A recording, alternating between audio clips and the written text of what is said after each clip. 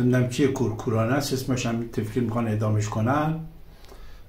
و به جرم کشتن پیر فلک. بعد دیدم که میسم پدر کیان صحبت کرده دوباره و باز تاکید کرده که شاکی نیست از این ها و چون خودش توی ماشینش بوده اتومبیل گواه هست و دیده است که مأمورای رژیم زدن بچه‌شو کشتن ماشینشو رو گوله بستن.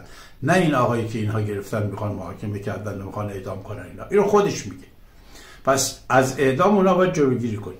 و نکته ای که میسم میگه مادرش هم سر خاک گفت که بچه من از قرآن متنفر بود. این خوب گوش کنید. این خوب گوش کنید. کیان؟